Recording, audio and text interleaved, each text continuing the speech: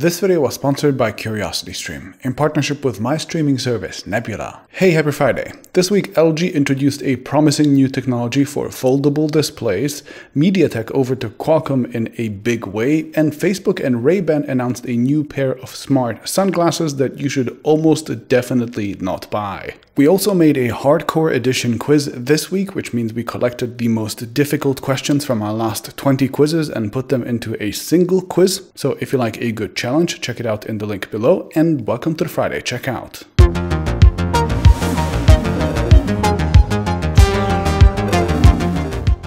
Okay, my release highlights this week start with the Google Series 1 Desk, which is a $2,000 Chrome OS running machine that can do three things. One, it is a video conferencing machine built for Google Meet with eight microphones and a special webcam that can track you around. Two, it is also a 27-inch collaborative whiteboard with a touchscreen and pen support. And three, it can also be turned into a simple monitor if you plug in a laptop. Pretty cool. After that, Amazon announced that they have officially started making TVs now. They are unsurprisingly powered by Alexa and the Fire TV platform. They're sold under the Omni and Fire TV brands, and they start with eight different models because, of course, Amazon just has to make every product under the sun themselves. And finally, I am telling you, Android tablets are making a comeback, with Realme this week announcing their first one ever, the Realme Pad, Lenovo and TCL announcing two each, and Xiaomi bringing their Mi Pad 5 to Europe, starting with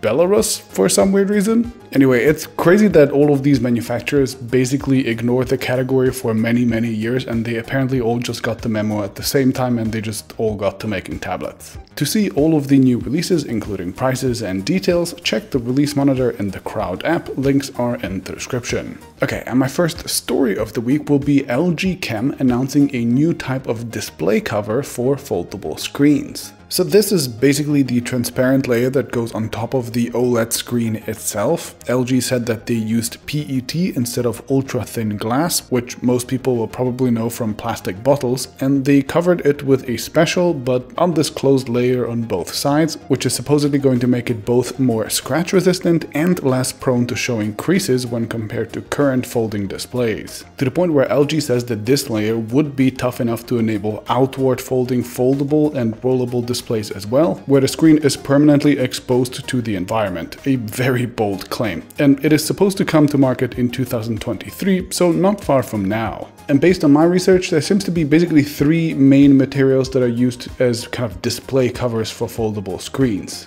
First, ultra-thin glass made by Germany-based Schott and US-based Corning, which is what's used on, for example, Samsung foldables. Second, there are colorless polyamides made by a Korean company called Kolon Industries, which is used on almost all of the Chinese foldables, like the Xiaomi Mi Mix Fold, the Huawei Mate X, Moto Razr, and the ThinkPad X1. And third, there is now PET, now, I'm not a chemist or a material scientist, so I'm not going to make any grand claims here, but here's the basics that I could find out about these. Polyamides, as far as I can tell, don't seem to crack, and at least on the ThinkPad X1, they seem to be tough enough to actually handle pen input as well. But research firm UBI actually expected them to only be used in large displays over 10 inches in the future or budget models, while ultra thin glass, at least before LG's announcement, was projected to take up the lion's share in the next few years. I have no idea why, but glass seems to be the better tech overall. Now, we don't know how good LG's PET solution will be, but as a reminder, Samsung actually already uses their own pre-applied PET screen protector on top of their ultra-thin glass on the Fold and Flip 3 that keeps them from cracking and the 80% increase in durability of their screens this year over the Fold 2 that allowed them to add the S Pen is apparently all thanks to the improvements of the PET screen protector, so Samsung too is kind of at least partially betting on the toughening up of their PET solution as well. So to my non-expert brain, it doesn't seem like a crazy idea that LG could just toughen up their PET to a point where they could basically skip the glass layer underneath. And from what I could read, that would probably also make everything cheaper because it's just plastic. So we'll have to wait and see how that goes.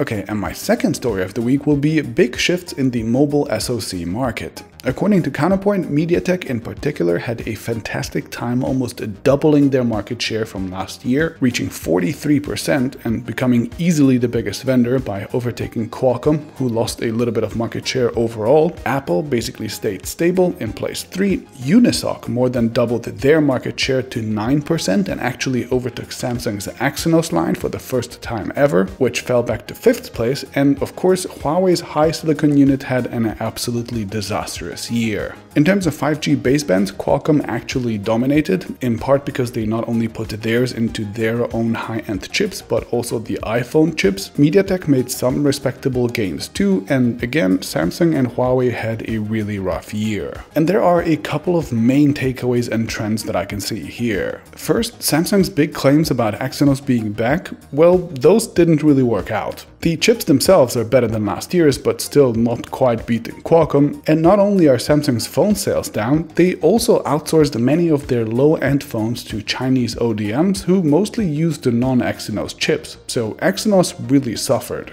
Apparently next year Verizon is rumored to want an Exynos version of the S22 for the first time ever in the US and the new AMD partnership should kick in next year as well so maybe they can turn things around but we just don't know yet. Second, apparently one of the big reasons why MediaTek managed to gain so much ground on Qualcomm was that they were less constrained on the supply chain side than Qualcomm was, and apparently that should kind of fix itself in the next few quarters for Qualcomm, so the balance should kind of tip back a little bit. And third, Unisoc really seems to be on a roll with their entry-level chips gaining a bunch of customers on the low end like Nokia, Realme, Motorola and Micromax. But their success is also really surprising given that their parent company literally just declared bankruptcy this summer. Tsinghua Unigroup is a partially state-owned enterprise from China and a subsidiary of the Tsinghua University, and it was propped up by the government pumping huge sums of money into it until they basically decided that this was no longer financially worth it. A company that is supposed to be in major financial distress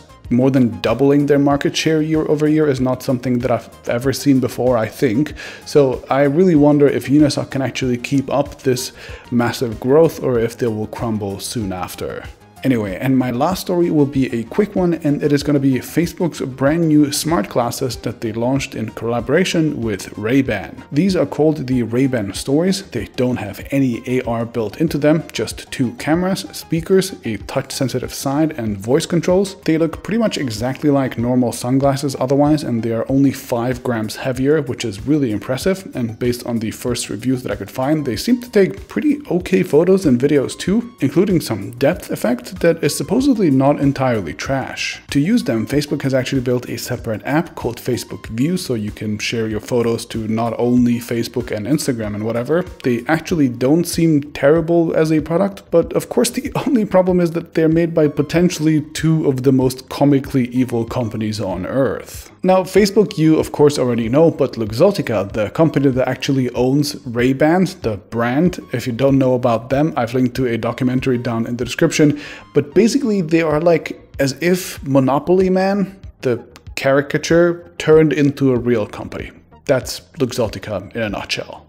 Now, if you are the type that actually likes documentaries, which I bet you are since you're watching my videos, then check out CuriosityStream. It is the best place online to watch thousands of high quality professional documentaries on technology, science, history, nature, and more, like my latest favorite, Engineering the Future, for example. This is a super well produced documentary series covering various forms of renewable energy, flying taxis, and all of the other wild stuff in much greater detail than a regular YouTube video could and CuriosityStream has a lot more like it. The service got started by the founder of the Discovery Channel. They have legendary hosts like David Attenborough, Jane Goodall, Stephen Hawking, and more. And if you use my link to sign up, you'll also get free access to our very own streaming service, Nebula, which is built and owned by some of YouTube's best educational creators. Nebula has exclusive originals, for example, The Unknown City by Neo, which is one of the most beautiful visualizations I've ever seen online of the scale of the refugee crisis, I will be releasing my own Nebula original very soon too, plus we have all of our regular content there too, of course ad-free without any tracking, and in the case of my TechAltar videos, even a day or two early. The two services combined cost only 15 bucks for an entire year, so you can support us and get great content for a very reasonable price. Check it out, links are in the description, and I'll see you next week.